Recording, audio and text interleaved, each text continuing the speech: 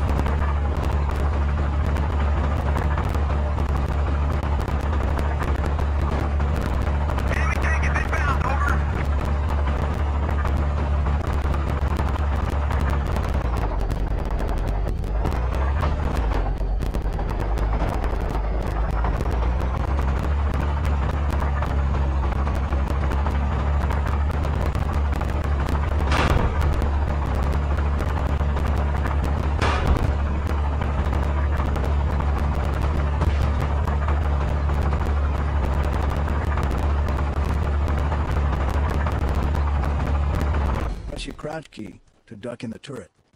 We need repairs here. Press the right mouse button to use the scope.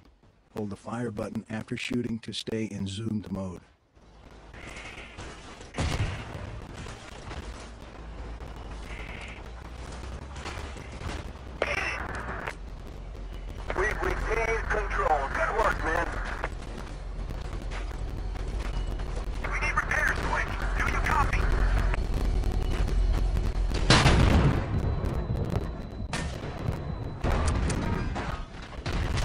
Crosshair to guide the missile while it's in flight.